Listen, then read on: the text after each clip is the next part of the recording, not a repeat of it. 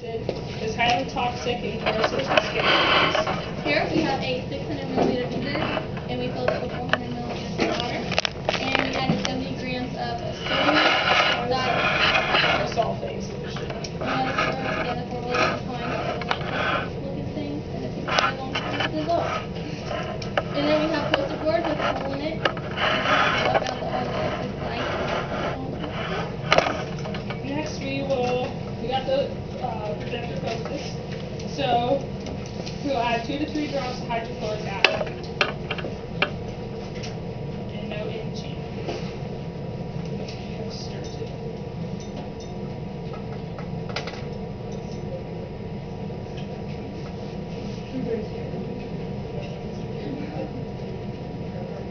Notice that it starts, it's starting to take on a cloudy bluish cast.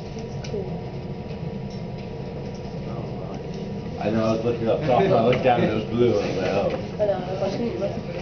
And you can uh, keep on adding two to three more drops until you know any more changes. So stir.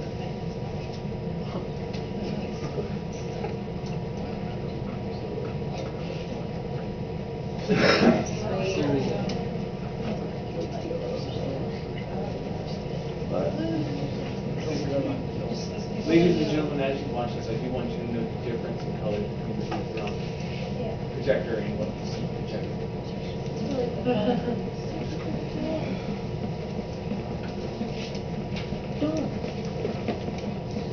You can start stirring.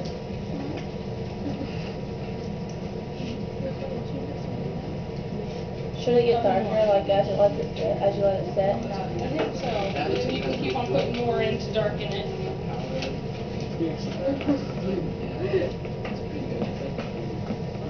It's like orange. Yeah. Yeah, that is. Do you she puts her hand right there, it's orange, the like reaction of the hydrochloric acid and the sodium thiosulfate solution creates sulfur, which is the orange color, color. Bringing together sodium thiosulfate and acids produces thiosulfuric acid, which disintegrates quickly into elementary sulfur, which is sulfur dioxide in water. It's too dark to see.